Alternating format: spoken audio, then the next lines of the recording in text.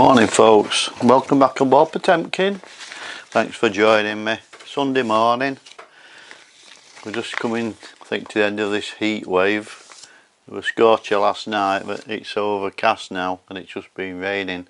Not a lot, but uh, it's about stopped I think, but I think we're due to be at the end of this nice heat. it's too hot though, isn't it?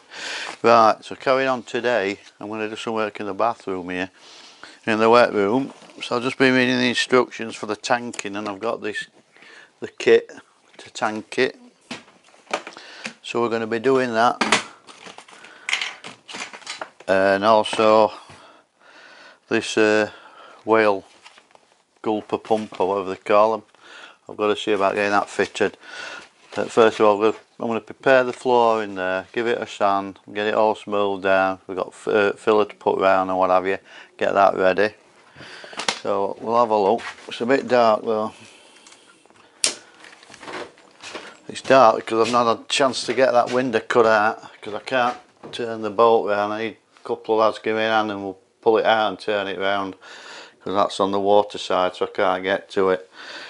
But anyway, so we'll take the loo out and then we've got to tank this floor fill all the gaps and what have you silicon there's a special silicon you put round the corners at the bottom and what have you. So we'll make that all watertight.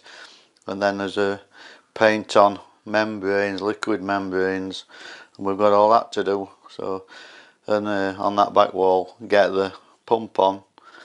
I've took the the unitart back to the workshop because I'm going to make the concrete worktops for that and the sink. We're going to be casting those. So that'll be probably next week so anyway we're going to progress this. So that's a get on with it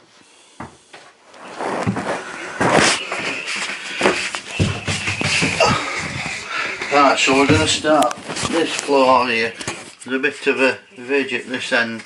So we're going to blend that back, take most off with angle grinder, and then we'll get sander and we'll blend it all in.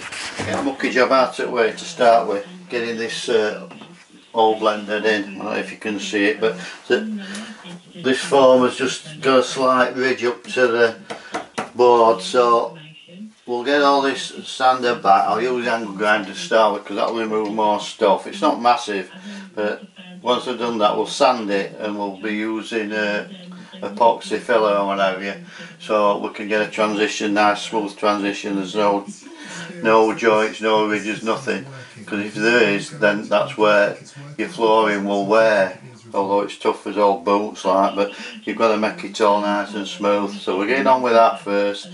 Get the dust out of the way then we'll have a look at the pump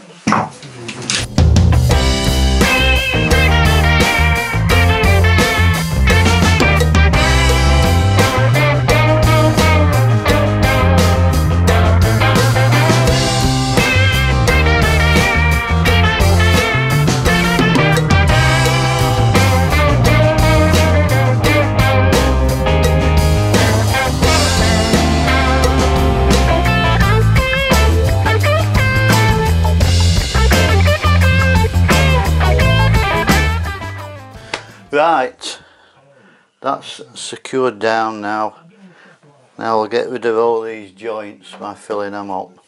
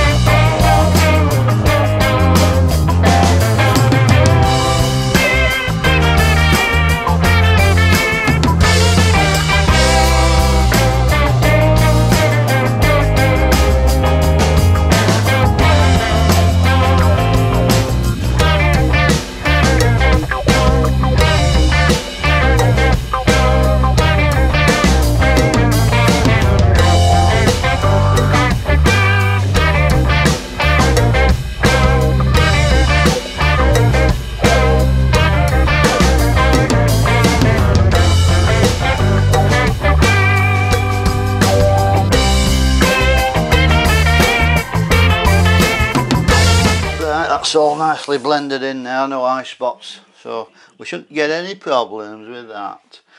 So next thing is, well, we, you've got to caulk around these edges and what have you. Uh, I'll probably do that at the end of the day because uh, you're going to let it set. So that's the best idea. Put it around end of day, and then tomorrow come down after work and uh, tank tank the lot. Then put the primer on and the tanking solution, and that should be that done then. Oh, there's the the tape to put round as well. So we'll leave that for now. Get an hoover out and we'll have a look at this pump getting that in. Right, next job then is to sort this waste out and pump for the um, pump out of the wet room. So we've got this whale system which consists of you have this valve it's got a plug and play end on it that goes to the pump you can have two inlets to that so you could put a sink in it and a shower and then an outlet it don't matter which one just water goes in and pumps out of any of them because there's a, a little gizmo on the bottom that just detects the water when it's in there and it turns it on sends a signal from this to the pump turns it on right? So I could put the sink in it and I could also put the shower in it. Thing is should something go wrong because anything that's mechanical electrical it, it's going to go wrong one day. It might not be for a lot of years but but it will go wrong.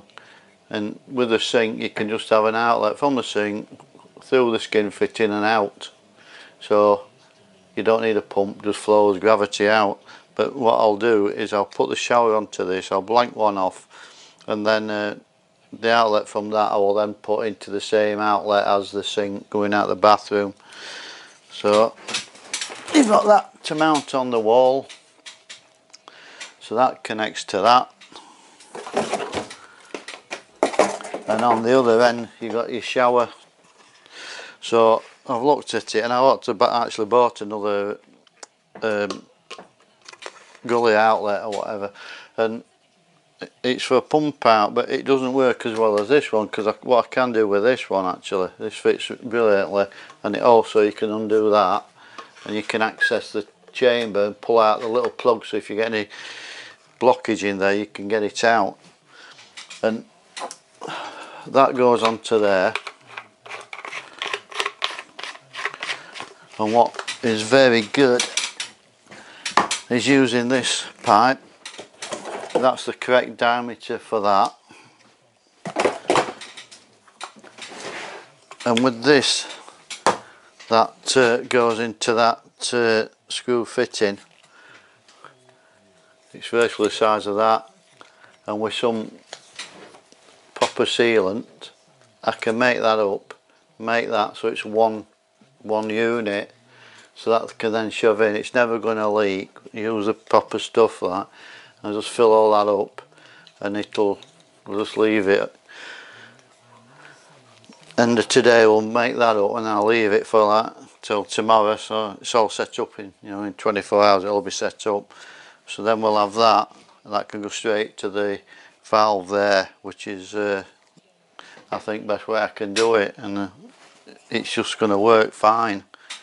And we've got this good gully and trap trap and you can undo that and get any blockages out should you get them should some of my long flowing locks come off my head and go in then I can get them out.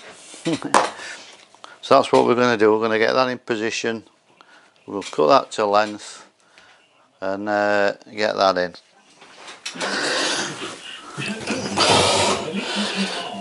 right let's have a look what we need to do with this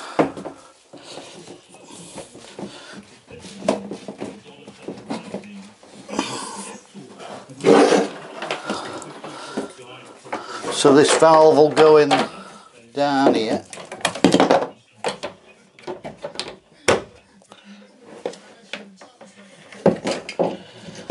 Like so. can screw to that. We'll blank that right hand side one off. And then the pipe can come out of here and up to the pump. We need to cut this to length to allow us to get onto that. On here.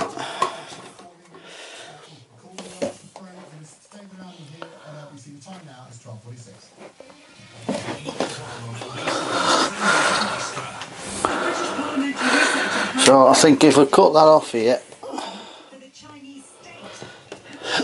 we can uh, make it work. I'll go and do that. Okay, so we've cut to length. So that will bed into that. That gan's down there, and then we're going into that there. So okay. Now we've got to, oh, that paint's not dry yet. We'll get this mounted on here. So we'll let the paint dry then we'll have that on there and see uh, how we work those hoses for that. Okay so I've got the pump on the wall.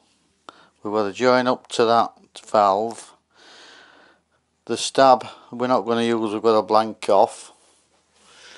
And uh, to make that up there I've got to get an elbow because it's too tight for the pipe to bend at uh, it's just with the metal in it and what have you the spring type thing inside the pipe. It doesn't want to bend bend at that angle. So it'll have to have an elbow on it. So I've got to get one of them.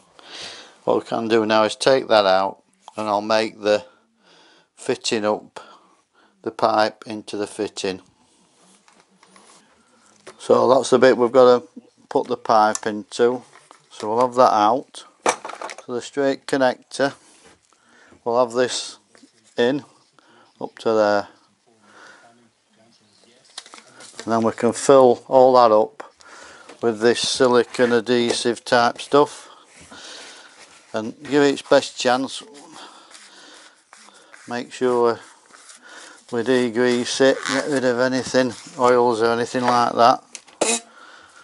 Because the last thing you want is it to fail underneath the, the uh, shower. We'll have a boat flooded. Right. That's that. And we've got this sealant adhesive EB25 it's a tough old adhesive. Totally waterproof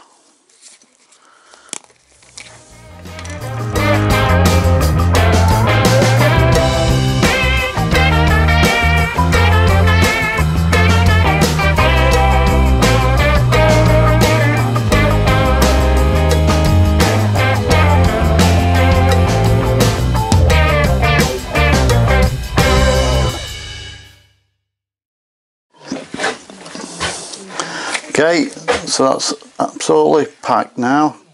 So we'll go and set that down as uh, we'll leave it for it'll be a day something before I get back. So that can just sit there and set. Right, so what I'm also going to do is seal around here. So this is becomes one. Because should I need to access that, you have to unscrew that, which parts those two, and it could be a bit tricky getting it back. But if I make that, if I seal that joint there, that that'll become one unit then and that middle will still come out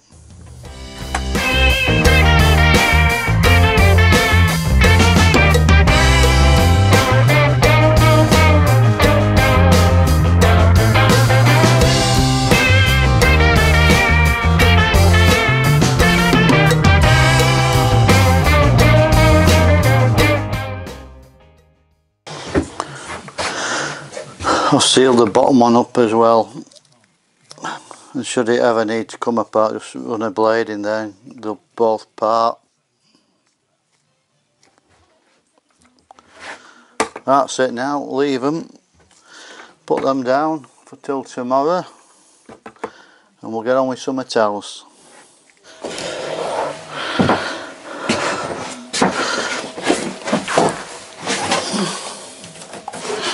last thing I can do in here today. Is caulk this joint up and then we'll leave it come back tomorrow and then we can tank it all with the membrane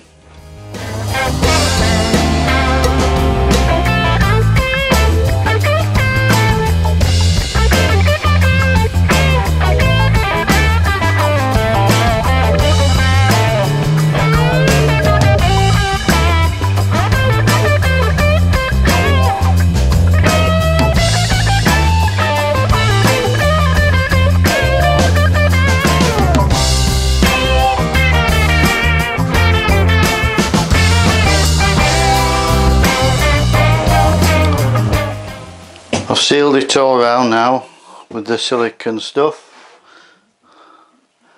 And then there's the membrane that goes on there the two inch wide one which uh, wraps up the corners and onto the bottom piece. And then when it's tanked you tank it up and a foot or more. And all along these edges here right, the vinyl will be wrapped up to that height so you've got 120 mil there apart from the door there but that's plenty anyway. So that's what happens. So tomorrow we can tank it. So tomorrow we'll get that tanked. Uh, Lado's coming put flooring down vinyl down. So that'll be a big movement then and then I can get the walls finished in there and, that, and I'll get that window in. We'll have put belt along there or something. I've got to turn it around to get window in that uh, once it's put floor down the walls coverings can go on because then they'll overlap the vinyl at the bottom it's wrapped up the wall so the water don't go behind it. So anyway that's it. So thanks for watching again and uh, thanks for liking thanks for subscribing. Uh, I do enjoy your comments and uh, it's nice to hear from folk. And if you have any suggestions for me I'm doing something wrong just let me know. Alright ta